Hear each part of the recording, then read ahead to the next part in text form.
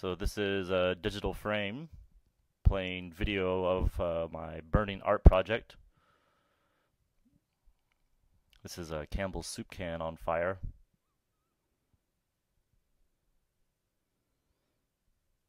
And I slowed it down and reversed it to make the image come out of the ashes. Kind of a destruction in reverse. Sort of a new creation. And there's no sound. Um, they're meant to be quiet like the paintings themselves. You can always play your own music, see what that sounds like.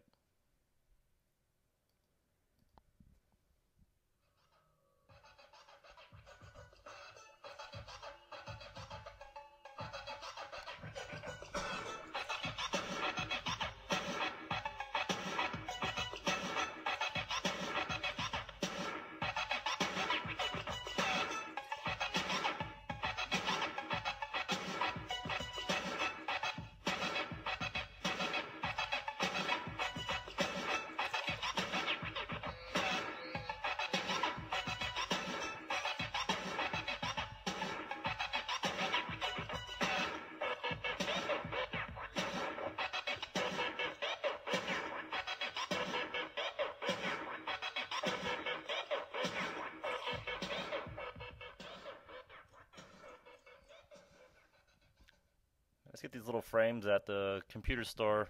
They hold little memory cards and plug into the wall. I would like to exhibit a whole bunch of these, or we'll see. Maybe frame them up all pretty. They're pretty generic right now, just plastic. But they work well. The little screens put out a lot of light. You almost can't see the the camera iris has to adjust.